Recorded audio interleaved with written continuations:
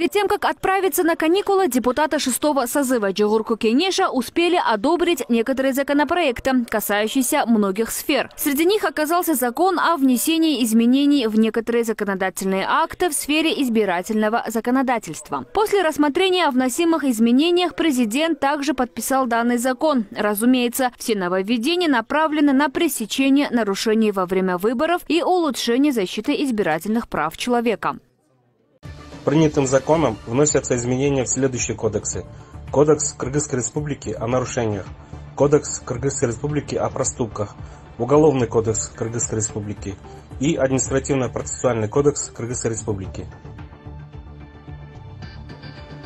Как известно, на любых выборах не только в Кыргызстане, но и во всем мире злободневной темой считается подкуп голосов. Поэтому в измененном законодательстве есть несколько моментов, касающихся личностей, занимающихся сбором голосов избирателей. Если ранее по закону к ответственности привлекался только сам кандидат, его представители или близкие люди, то согласно новому закону круг объектов был расширен. Теперь любой, кто занимается подкупом голосов, будет привлекаться к ответственности. Значит, ответственность, которая предусмотрена в законе, это штраф от 180 до 220 тысяч сомов. А вот ответственность кандидатов, их представителей и родственников, она э, гораздо больше.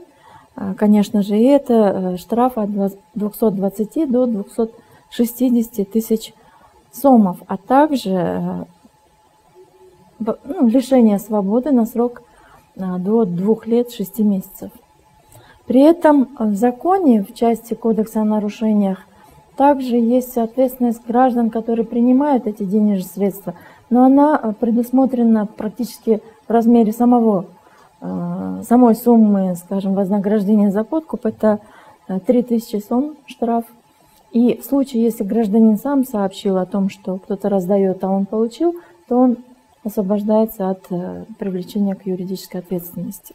Кроме того, изменения в законе также будут касаться злоупотреблений административными ресурсами. Ключевой момент заключается в том, что если лицо, использовавшее ресурсы не по назначению, окажется должностным лицом, то помимо штрафа в сумме от 20 до 30 тысяч сомов в отношении этого сотрудника выйдет запрет занимать определенные должности.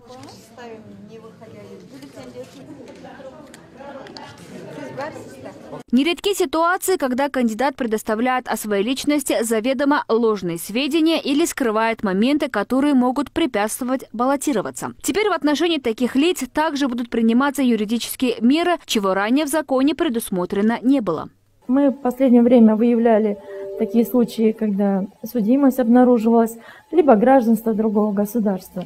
И в законодательстве не было юридической ответственности за такие э, нарушения – и сейчас она введена, тоже штраф от 20 до 30 тысяч сомов. Если это нарушение совершено лицом, которое уже занимало определенную э, должность э, государственным, муниципальным служащим, то в дополнение к штрафу, который предусмотрен для всех, добавляется наказание в виде запрета заниматься, э, занимать определенные должности.